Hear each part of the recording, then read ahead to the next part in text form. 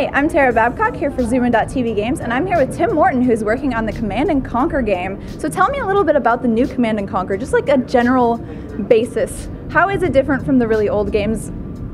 Sure. So this Command and Conquer is a live service, which means that once we stand it up, we're going to keep releasing new content for it. So new maps, new game modes, maybe even brand new factions over time. It's set in the Generals universe. So Generals was a Command and Conquer game from 10 years ago that featured modern warfare units and three different factions that are in the near Earth future. So it's a little bit futuristic, but it's pretty close to what we've got now. Cool. So in your presentation, you were talking a little bit about some of the visual changes that you made, and you made some kind of cool jokes. Can you tell us about that a little bit? Sure, absolutely. So uh, this Command & Conquer is using the Frostbite engine, which is the same engine used for the Battlefield series of games, and that gives us DirectX 11 graphics, gives us real-time physics, dynamic destruction. So it really visually is the richest Command & Conquer that we've ever built. Uh, you know, I think it just creates that much more immersion for players when they're playing the game. Tell us about the shoes. Aha. So in the original Generals game, when you clicked on the worker units for the Global Liberation Army faction, they said, can we have some shoes? Because they were little barefoot guys running around building all the structures and collecting resources. So for this game, we gave in and we gave them shoes. That's very, very nice of you. So you did mention also something about uh, there was a little bit of offense taken to what the terrorist generals looked like. Can you tell me a little bit about that? In the original Generals game, the GLA, the terrorist faction, was very Middle Eastern looking. Uh, in this new Command and Conquer, they really are global. So whereas before we offended some people, now we'll probably offend everybody.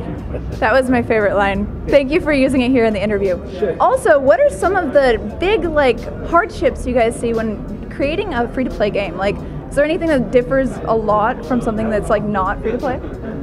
It's a very different approach, and we've had to learn it as well because I think for most of the team, this is the first time we haven't worked on a retail release, and instead of having everything done at once, we build things in stages. And we expect to keep working on this for many, many years. So it's a very different mindset in building it.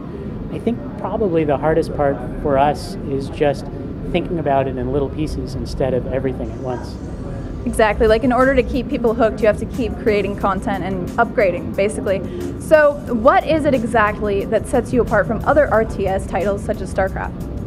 Command and Conquer really has a different feel to it, and uh, we love all of the other titles in the genre. You know, we're fans of real-time strategy in general, but Command and Conquer has features like crushing. It has features that are really unique to it as a universe, and we're working to get all of those implemented for this game. They're not all there today, but over time we're going to make it very true to the essence of what Command and Conquer is. How much of that upgrade has to do with the Frostbite engine? A big part of it is due to Frostbite. We really have never had this kind of graphics technology to work with before. Things like ambient occlusion and radiosity, it just sounds like a lot of jargon, but it really does make the world look better. So, what are some of the features that are like free, and what do you have to pay for in this game? We're being really careful to not be pay to win. So, anything that impacts gameplay, you can either pay or earn just by playing the game. There are some items that are purely visual that are things that you can only pay for because they don't impact gameplay. Uh, but examples of things that you can pay for are generals, which are unique gameplay takes on the base factions that are centered around one strategy or favorite weapon. Uh, you can also get uh, a premium mode, which gives you more experience points or you know other boosts as you play along. But again, anything that you can pay for, you can also earn just by playing the game. So we keep it fair. So a lot of it is aesthetic. You can't just like be like the best in the game if you're having money, right? Exactly. That, that makes it fair. That's much better for the player. So, um, do you guys take any like other tips away from other free-to-play games like League of Legends or something?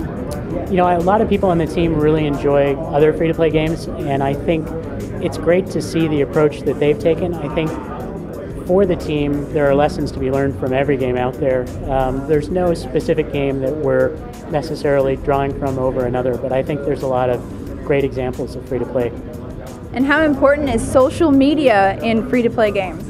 Social media is key. We really provide a lot of hooks for people to bring friends in from Facebook or from Xbox, PlayStation networks, so that people can not just play with their friends, but also let their friends know about the game and hopefully grow it that way.